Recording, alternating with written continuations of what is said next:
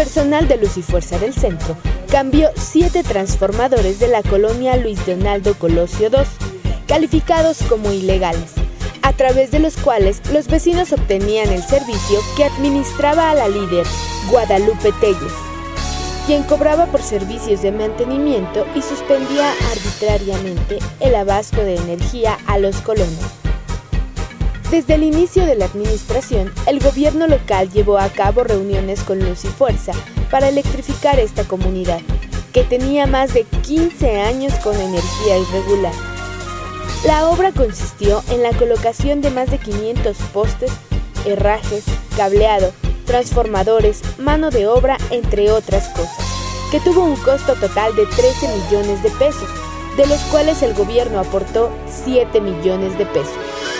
Decenas de vecinos salieron a recoger los cables que tenían y ahora deberán hacer su contrato, para lo cual Luz y Fuerza del Centro envió camionetas móviles desde hace más de dos años para que pudieran hacer su contrato.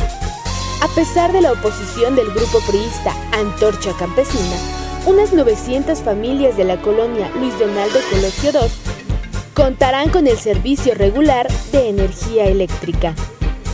Sigamos por el mismo camino. Ecatepec ahora es de todos.